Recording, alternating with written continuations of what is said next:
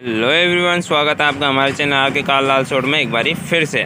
तो दोस्तों, आज हम जो आपके लिए लेकर आए हैं, वो काफ़ी इम्पोर्टेंट चीज़ है। तो मैं आपको बता दें, ये देखिए एयर क्लीनर है। ये देखिए ये। ये इसने ब्रेक मार मार के गाड़ी छोड़ देती है। और जो गैस पे चलती है ना, उसकी बात है, ये देखिए, इसका गैस किट भी दिखा देता हूँ मैं। ये देखिए, ये रहा। अब मेन बात करते हैं अपन इसकी, क्या बोलते हैं एवरेज यानी ये गाड़ी एवरेज बिल्कुल भी नहीं दे रही गैस पर। गैस किट फिट कराने के बाद में एवरेज नहीं दे रही। ये देखिए, कस्टमर ने करीबन दो चार मैकेनिकों के जाके करीबन तीन चार बार खुला चुके हैं ये। तीन से चार बार खुलवा लिया। नीचे लिक्विड निकाल दिया, इसमें तो काफ़ी कचरा था, इसको तीन चार बार सर्विस करा दिया। लेकिन ये सौ किलोमीटर से ऊपर का एवरेज दे ही नहीं रही एक टंकी पर। तो इसमें प्रॉब्लम मैं बता दूँ दोस्तों, क्या है? ये देखिए, ये इसका इंजन खोला है हमने। ये एयर क्लीनर देखिए यहाँ से साइड से इसका टूट रहा है है ना? तो इसमें कस्टमर ने, यानी काफ़ी मैकेनिक यही करते हैं ज़्यादातर। ये देखिए, इसके यहाँ पर है ना, इसका जो आगे का मुँह मैं दिखा देता हूँ आपको। ये देखिए, ये एयर क्लीनर के अंदर, ये देखिए गुटका फंसा दिया इन्होंने, देखो एक और।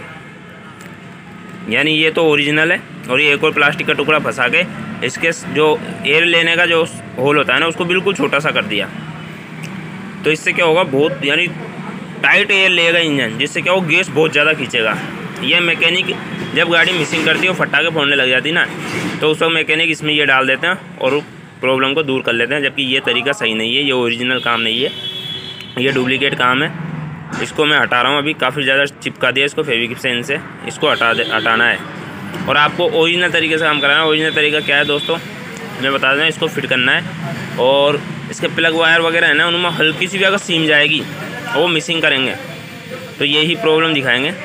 और इसमें से अगर गैस बराबर नहीं जाएगी सेटिंग बराबर नहीं होगी तो भी गाड़ी फटा के फोड़ेगी, और एवरेज बिल्कुल नहीं देगी। तो आपको ये चीज़ें नहीं करवानी है। तो फ़िलहाल मैं इसको हटा देता हूँ, फिर दिखाता हूँ आपको। और एक चीज़ और मैं दिखा देता हूँ, दोस्तों, ये देखिए।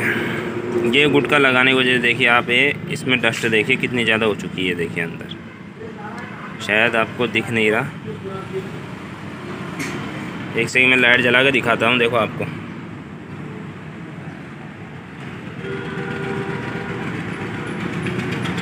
ये देखिए। इसमें इतनी ज़्यादा मिट्टी आ चुकी है ये देखिए, अभी अभी लड़के ना हल्की सी कुछ रही है। और मिट्टी बहुत ज़्यादा जम चुकी है, बहुत ही ज़्यादा। ये देखिए।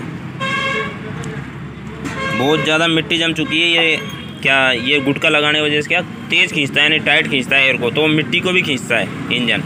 इससे हमारा इंजन भी फेल हो सकता है। इस तरीके से अगर कोई भी ये गुटका लगाता है तो आप ना लगवाए, उसे ओरिजिनल काम करवाए। ओरिजिनल तरीके से गाड़ी की प्रॉब्लम सॉल्यूशन निकलवाए, ये इस तरीके से जुगाड़ करवा कर ना निकलवाए।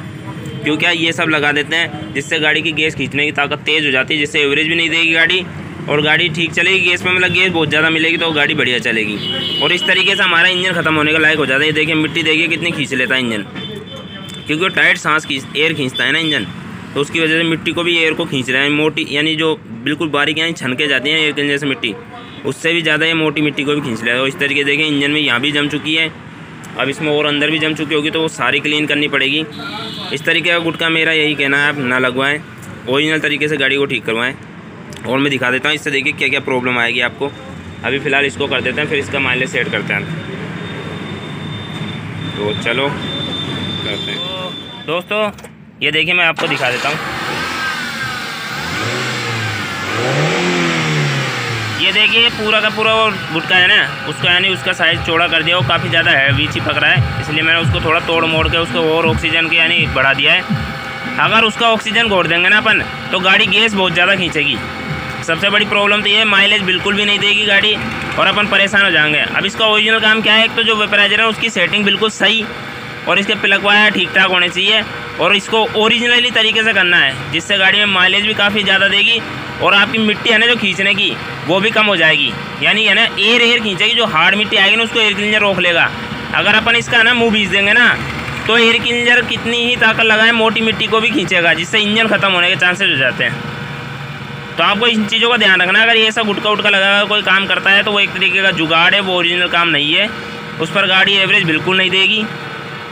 और ये वेपराइजर की अगर सेटिंग सही हो जाएगी ना, गैस की सेटिंग तो ऑटोमेटिकली गाड़ी सही चलेगी। और एवरेज भी बढ़िया देगी इसके प्लग वायर अगर हल्के से भी स्पार्क करेंगे, कर रहे होंगे ना मिस मिस फायरिंग तो भी गाड़ी में यही प्रॉब्लम आएगी। तो आपको सिर्फ़ इन चीज़ों को चेक कराना है, एक तो इसके प्लग वायर और इसके प्लग और वे, जो गैस का किट होता है ना, उसकी सेटिंग जो गैस का वेपराइजर होता है, उसकी सेटिंग सही करवानी। बाकी इस तरीके से गुटका नहीं डलवाना, इससे अपन का इंजन भी ख़राब होता है और माइलेज भी बिल्कुल ख़राब हो जाता है। तो इन चीज़ों का आपको ध्यान रखना है दोस्तों। इसी तरीके से काम कराना है। अगर कोई भी ऐसा गुटका उटका लगा कर जुगाड़ करके आपको गाड़ी कंप्लीट करके देता है तो आपको नहीं करवानी है। उससे क्या आपको काफ़ी लॉस होता है। यानी इंजन तक जा सकता है। यानी हाथों हाथ नहीं जाएगा इंजन। यानी छः महीने में, साल भर में धीरे धीरे मिट्टी ज़्यादा खींच के इंजन सीज हो जाएगा। इंजन की रिंगें कट जाएँगी।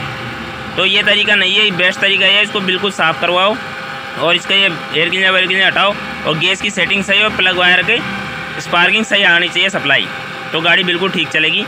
और कुछ नहीं, बिल्कुल इस तरीके से काम करवाना है। तो मिल थैंक यू तो दोस्तों, जैसा कि आपने देखा, मैंने इसमें बताया आपको, जो ये इको गाड़ी है ना, ये इसमें, ये यानी माइलेज की प्रॉब्लम काफ़ी ज़्यादा है, और जो गैस पर चलती है ना गाड़ी, उसमें क्या होता है, ये जो है ना गुटका यानी ये जो रबड़ का वो जो उसका मुँह होता है ना एयर लेने का उसमें कोई ना कोई चीज़ ठूस कर उसका उसके साइज़ को छोटा कर देते हैं, ताकि इंजन ताकत से खींचे कोई भी चीज़। तो अगर इंजन ताकत लगाए तो गैस पर भी ताकत लगेगी। तो इंजन ज़्यादा गैस खींचेगा, इस वजह से एवरेज नहीं देता है। अब ये मैकेनिक क्या करते हैं, कई मैकेनिक कई मैकेनिक क्या करते हैं कि उसमें गुटका लगा देते हैं और फिर उसके बाद में उसको चला देते हैं तो वो क्या काफ़ी टाइट खींचता है। तो बढ़िया चलती है गाड़ी गैस पर, जबकि एवरेज बिल्कुल भी नहीं देगी। उस पर क्या होता है दोस्तों, एवरेज नहीं देती है गाड़ी। और आपके मान के चलिए, मिट्टी इतनी ज़्यादा खींचती है, उससे मान के चलिए आपका इंजन जहाँ दस साल चलना चाहिए था ना, वहाँ दो साल ही चलेगा। ये मान लीजिए इतनी बड़ी बड़ी प्रॉब्लम है, जबकि आपको शुरुआत में दिखाई नहीं देगी, शुरुआत में आपको पता नहीं चलेगा। आपको तो ऐसा लगेगा यार गाड़ी में पिकअप अच्छा आ गया। जबकि आपको एक तरीके से मान लिया आप, आपका इंजन ख़त्म कर रहे हो, अगर वो गुटका लग रहा है तो। तो अगर आपकी गाड़ी में, मैं सिर्फ़ ये बताना चाहता हूँ, अगर आपकी गाड़ी में कोई भी मैकेनिक अगर इस तरीके से गुटका लगाता है और कोई भी चीज़ लगा कर उसे, यानी उस होल को छोटा करता है और फिर उसके बाद में आपकी गाड़ी ठीक करके देता है और एवरेज सेट करता है तो बिल्कुल गलत है।